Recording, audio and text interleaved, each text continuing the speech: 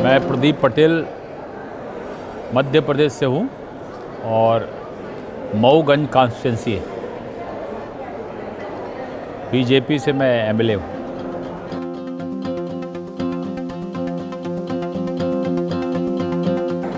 मेरी कॉन्स्टिट्यूंसी मध्य प्रदेश और उत्तर प्रदेश के बॉर्डर में है। मध्य प्रदेश, उत्तर प्रदेश के बॉर्डर का एरिया है, जहाँ से बनारस, मिर्ज़ापुर उधर पड़ता है और इधर रीवा डिस्ट्रिक्ट पड़ता है।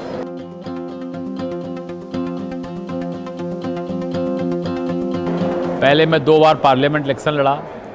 अभी विधानसभा लड़ा हूँ। तो पार्लियामेंट इलेक्शन में जीता नहीं था। मगर उससे अनुभव बहुत रहे और उस अनुभव का लाभ लेकर के यहाँ असेंबली का चुनाव जीता।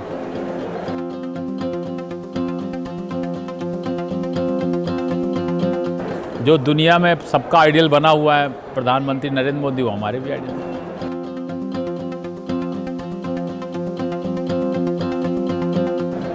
पढ़े लिखे लोग, अच्छे लोग, राजनीति से अगर दूर भगेंगे तो फिर राजनीति के बारे में लोग अच्छा नहीं सोचेंगे। इसलिए पढ़े लिखे युवाओं को इस दिशा में आना चाहिए, ताकि लोगों को लगे कि हाँ हमारा नेतृत्व तो अच्छे लोग कर रहे हैं। नहीं करोगे तो दूसरे लोग, खराब लोग करेंगे। बस मैं सबसे यही कहना चाहता हूँ कि जो काम, जैसे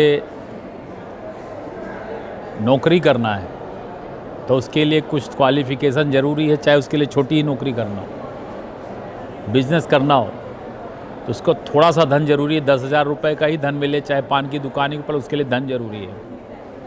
और पॉलिटिक ऐसी चीज़ है, इसके लिए कुछ ज़रूरी नहीं। नहीं पढ़े हो तो भी कर सकते हो समाज की सेवा। धन नहीं है तो भी समाज की सेवा कर सकते हो। इसलिए ये वो काम है जो संविधान में हमें हर परिस्थिति में करने के मौके देते हैं। इस मौके में सबको आना चाहिए और सबको जुटना चाहिए।